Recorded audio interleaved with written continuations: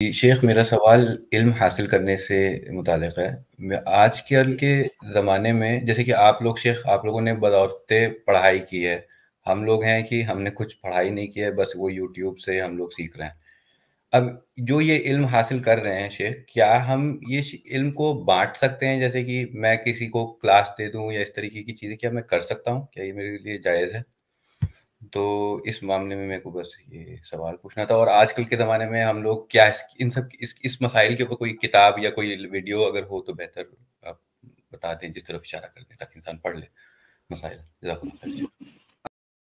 यहाँ पर मैं दो बातें अर्ज़ करूँगा। पहली बात तो ये है कि दीन का जो इल्म है आ, ये मुकम्मल तौर से तलक्की पर मबनी है। ये किसी से हासिल किया जाता है ये किताबों से सिर्फ़ हासिल नहीं किया जा, जाता है। हो सकता है दुनिया के बहुत सारे उलूम ऐसे हों जो आप किताब सिर्फ़ किताब पढ़ करके हासिल कर लें। लेकिन दीन का इल्म ऐसा है आप अल्लाह के नबी वसल्लम से लेकर के इस जमाने तक देखेंगे कि सिर्फ़ किताब पढ़ करके दीन का इल्म हासिल नहीं किया जा सकता है। वो उस्ताद के सामने बैठ करके उस इल्म को हासिल करना ज़रूरी है। अगर वो बहुत सारे लोग जिन्होंने सिर्फ़ किताबों पर एतमाद करके अपने जाति मुताले पर एतमाद करके दीन का इल्म हासिल किया है अक्सर वो बेशतर लोगों ने गुमराहियाँ उस्ताद ज़रूरी है। ये पहली बात। दूसरी बात ये कि जो जिस इल्म की आप बात कर रहे हैं कि आप हासिल करते हैं सोशल मीडिया यूट्यूब वगैरह पर सुन करके आप उसको इस हद तक लोगों तक पहुँचा सकते हैं कि जैसे आपके पास कोई वीडियो आया किसी अच्छे आलिम का, आप उसे फॉरवर्ड कर दीजिए दूसरे को। आपने कोई किताब देखी अच्छी, आपने पढ़ा अच्छी लगी, वो किताब आप दूसरे को भी फॉरवर्ड कर दीजिए। या कोई मसला अगर बहुत क्लियर तौर से आपको समझ में आ गया तो जितना आपने सुना है, उतनी बात बगैर कमो का कुछ कमी बेशी किए, आप दूसरे तक पहुँचा दीजिए, अपनी तरफ़ से आप कोई इतिहाद मत कीजिए। क्योंकि अपनी तरफ़ से कोई इतिहाद कोई शरा कोई इफाम और तफीम करने के लिए आपको ज़रूरी है कि आप दीन का इल्म उस तरीके से हासिल करें जैसे जैसे उस्ताद के सामने हासिल किया जाता।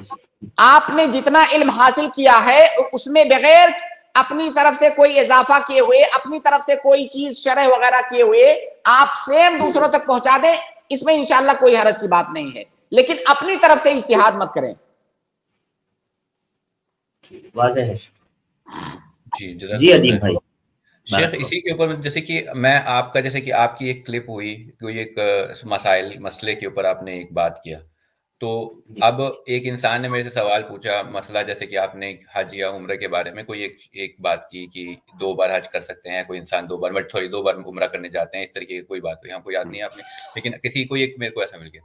तो क्या शेख इस तरीके की बात जैसे कि कोई इंसान मेरे से पूछता है कि क्या ये कर सकते हैं? तो मेरा जनरली जवाब होता है कि जाइए आप ये जैसे कि लाइव स्ट्रीम आती है मैं उनको कभी कभार लिंक फॉरवर्ड कर देता हूँ इस तरीके का आप इनसे जाके सवाल पूछे। तो क्या मैं उनका सवाल मतलब उनका सुना और फिर मैंने आपकी एक क्लिप देखी और मैं बस उसको फॉरवर्ड कर दूँ?